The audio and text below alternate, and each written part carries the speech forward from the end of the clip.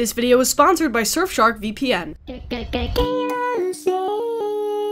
So a few weeks ago, I did a video called Renee Rapp and the Curse of the It Girl, where you know, the new It Girl celebrity receives a lot of fan support for their quirky or outspoken personality until that support inevitably turns into backlash. And in that video, I briefly mentioned what I coined the curse of the it boy, which is something very different. And we're going to get into it today with a person who I consider to be the current it boy in pop culture and media, Jacob Elordi. Jacob got his first big break playing a character named Nate Jacobs in Euphoria, a show that is currently streaming on HBO Max if you haven't seen it. And speaking of streaming, there is a whole wide world of TV out there that you might not even know about that you can access with the help of a virtual private network. And that's why I want to briefly talk about today's wonderful sponsor, Surfshark VPN. Surfshark VPN lets you virtually travel the world with the tap of a finger. It's come in handy for me recently because I've tried to keep up with all the movies and TV shows for award season, and Surfshark allows me to get access to tons of streaming catalogs from a bunch of different countries, which makes it way easier to stay on top of it all. Surfshark also keeps you safe and private by covering up everything you do online.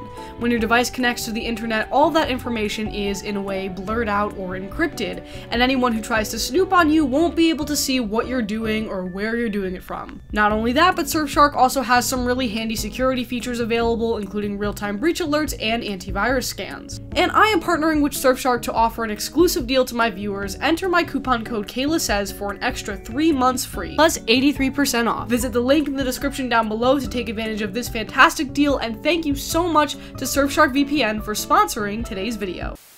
Okay, so as I mentioned, Jacob Elordi got his start in Euphoria, a show that I have a lot of opinions about. With showrunners, I also have slightly more hostile opinions about.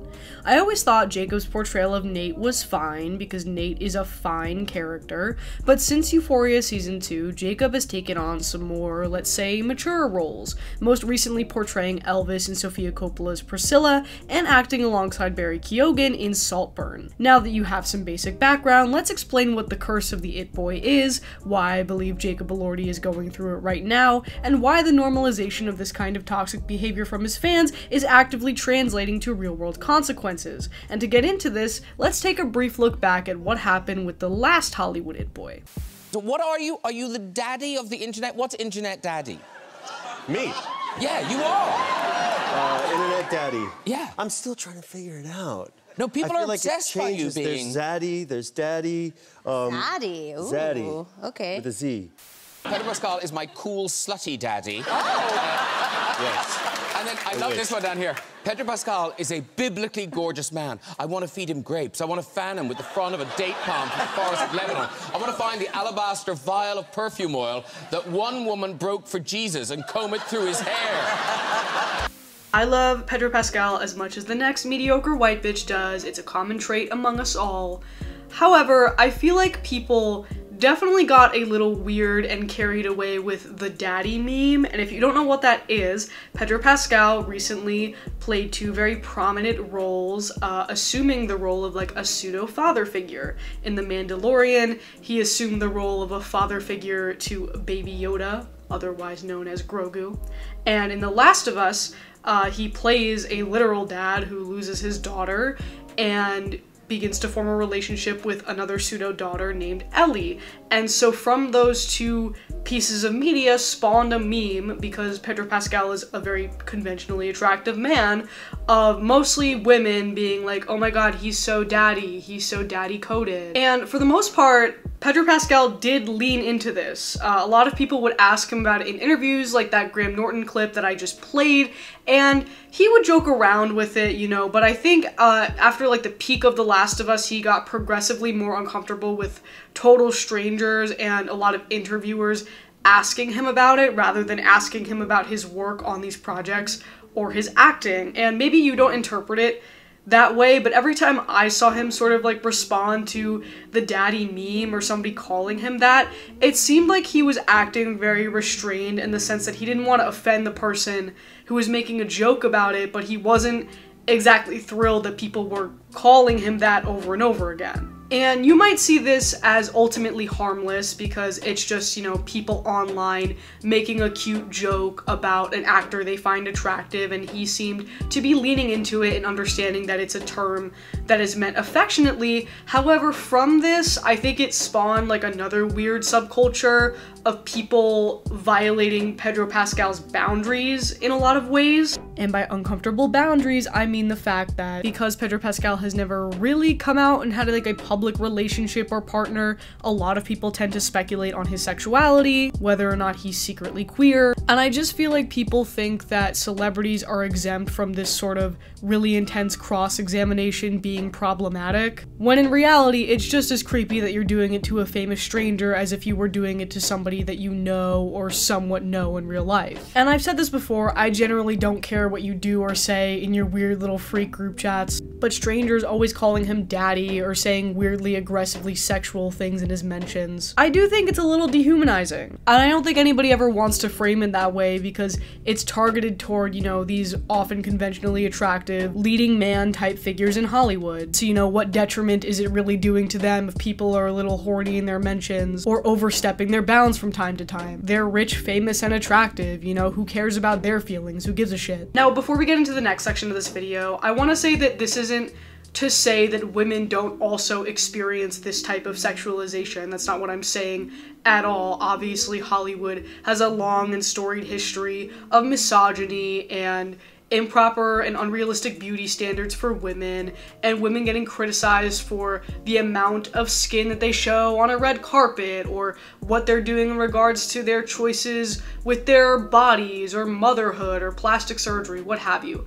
Women face a lot of that in Hollywood and in real life, obviously, so I'm not trying to say that, like, ooh, these men have it so hard. In fact, what I'm saying is kind of the opposite. I feel like, you know, a lot of these conventionally attractive men in Hollywood don't have to face a lot of those other systemic barriers that, you know, their women counterparts often have to face. And so people kind of feel more comfortable assuming things about them or making inappropriate jokes uh, at their expense. And I think they're doing that because they're like, okay, well, it's these, you know, attractive, famous men. How badly are they going to feel about the comments that I make about their bodies? They're not going to see it. They have all of this attainable wealth and resources. Like, the least I should be able to do is be able to sexualize them without feeling bad about it. And I'm here to tell you that if you're doing that, you should probably feel bad about it. And sure, maybe you think I'm being prudish on this subject, and maybe I am, but if there's anything in this world, in this life, that is going to change your opinion, it's this tweet that went viral a couple weeks ago about Jacob Elordi. The style and vibe of a teenage boy being actively inwarded by a family member. So yeah, this is probably actively the worst and the most deranged of all of the Jacob Elordi tweets that I've seen over the last year or so. But trust me when I say that there are hundreds of others like this. And you might argue that I'm being a prude, again, if it's not visibly appearing in their mentions and it doesn't matter what you say, these famous people are never going to see these words. But I don't know, it just gives me the ick to think that there are people out here talking about real life human beings this way way. And if Jacob Elordi is aware of any of this going on online, he probably feels like he has to pretend to be cool with it because he probably would get a lot of pushback on social media if he spoke out against it in any meaningful capacity. I think it would be my own personal nightmare to try to move through this world and keep to myself while thousands of strangers online are sexualizing me and making comments on every part of my body. Like that sounds like a fucking nightmare and I don't understand how these famous people do it. I really don't. All this to say that up until recently, Jacob Elordi has not publicly spoken out about this kind of intense sexualization from his fans and people on the internet. And I feel like you know, why would he? Because he doesn't want to be seen as like not a team player or like not down with his fan base or unappreciative of the affection that they give him. I feel like Pedro Pascal was kind of in a similar situation where he might have been uncomfortable with the amount of sexualization he was receiving, but he didn't want to push back on his fans in any way. However, it got to a point this week for Jacob Elordi where somebody made an uncomfortable joke at his expense with him in the room and he decided to take action about it. So over the weekend, it was reported that Jacob Elordi was arrested for assaulting a radio host in Australia. And at first, people were rightfully like, oh no, this is the fall of the Hollywood darling. He's secretly this violent sociopath. And then we learned a little bit more about the situation. According to Joshua Fox, who is a producer for The Jackie O Show, and I don't know, if you're from Australia, maybe you can fill us all in in the comments down below. Uh, I don't really have a frame of reference, but I guess these guys are like pretty sleazy and not well liked.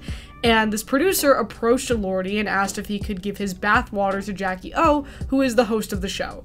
And that is a reference to a spicy scene in Saltburn if you're unaware. Apparently, Jacob got very aggressive in response to that question and backed Joshua Fox into a corner, asked him not to use the footage, which he initially agreed to, and then the host changed his mind, I guess, and that's when Jacob choked him out.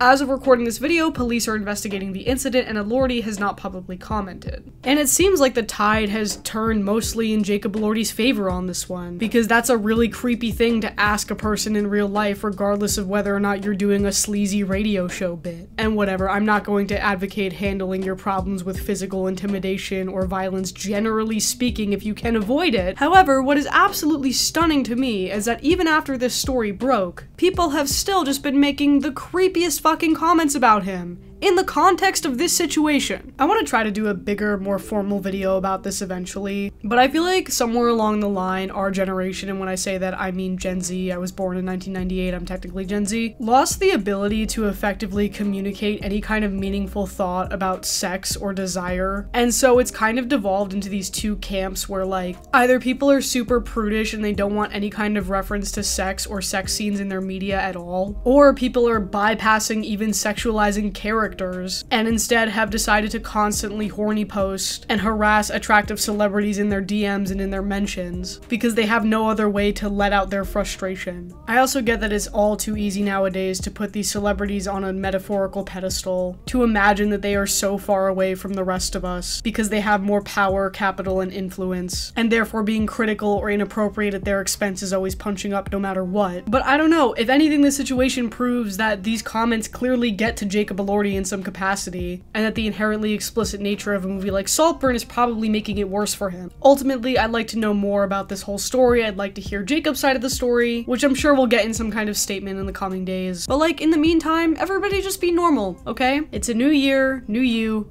Let's just try being fucking normal. That's all for me today, you guys. Thank you so much for watching. Uh, I normally like to end these kinds of videos with like a random question. Sometimes it's like, what's your favorite candy? Other times it's like related to the video. Uh, but I can't think of one, so I'm just going to encourage you all to start a fight about Saltburn in the comments. Uh, because I feel like that happens a lot and sometimes it's kind of funny. So uh, whoever comments first about Saltburn, like good or bad opinion, start a fight with them in the comment section down below and make it like as vicious as what possible. What are you doing? what? Why would you do that? What do you mean?